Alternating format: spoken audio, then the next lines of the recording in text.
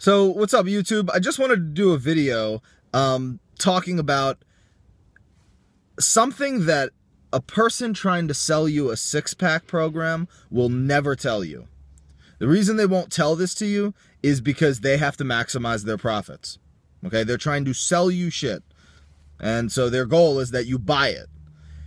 And the tr- simple truth here is that there is a good chance that whatever program you follow, you'll achieve the body of your dreams and it actually won't make you happy.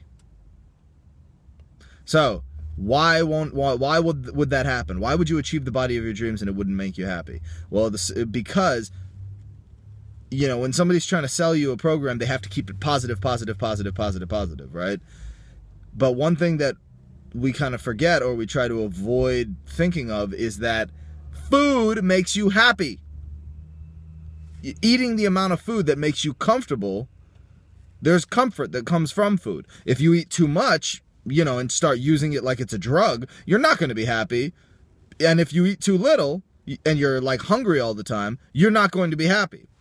So, let's say you you you're lazy and then all of a sudden you get active and you get into this whole, you know, fitness lifestyle. You learn how to train properly. You start eating right your body's going to get to a certain fat level. You're going to drop fat, drop fat, and then down here is where you have a six pack, and this middle ground is where your body's comfortable with. But your abs don't show. And to be less than have less fat than that, you're always going to have to restrict yourself. You're always going to have to worry about like, oh my god, I can't eat this, I can't eat that. Oh, but can I eat this at this time? Can I fit it into my calories? Should I eat it later? You know, oh, I slipped up and now I feel guilty. And there's certain, you know, there's a lot of six pack channels where I agree with what they say in the sense of like, hey, don't be so fat that it's a medical issue. You know, get your life in order, get healthy, feel better. Good. I always say yes. That's that's an important message to send to people. But, you know, this like I've seen fitness channels where the topic is like how to stay ripped through the holidays. You know, how to pay attention to this, pay attention to that. And the question is, are you going to really spend the rest of your life living that way? Are you really going to spend the rest of your life, you know, this life is temporary. In 100 years, we'll all be dead. It'll be a new group of people. 150 years, there'll be a new group of people on this planet. You'll be long gone.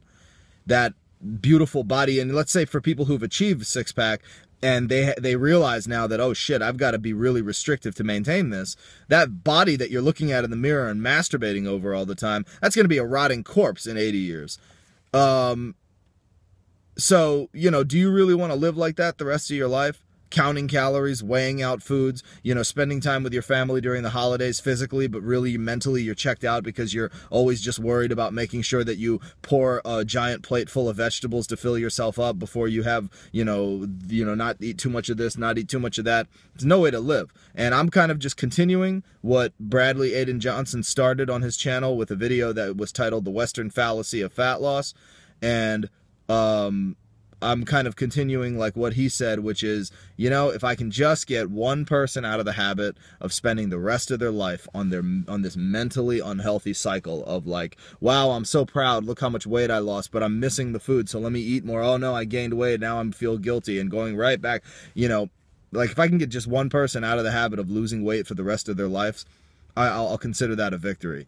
Um, you know, because it's just really sick to live that way. You know, spending the rest of your life stepping on scales. You know, your confidence being shifted because of that. It's just, it's really sick. Um, so you know, question why you're even doing it, and um, like you know, that's kind of a topic for another video. Why is it that people obsess so much about, especially guys, obsessing over six pack abs and looking a certain way? But that's, I'll talk about that in another video.